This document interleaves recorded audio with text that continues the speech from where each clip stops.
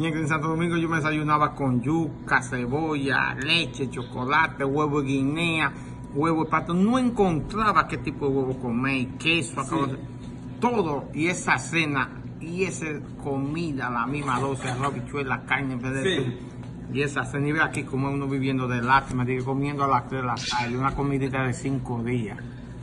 Vea, ay, ay, ay, y tengo una así, un escenario salí.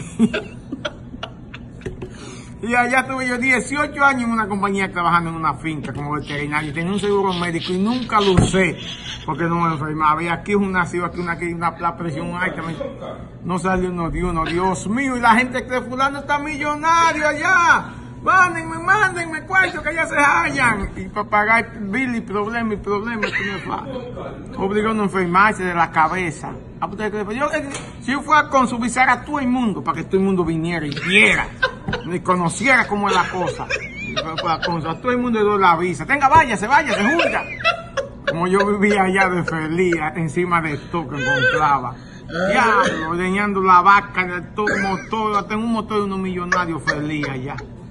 Dios mío, aquí de un trabajo a trancarse, pero una televisión.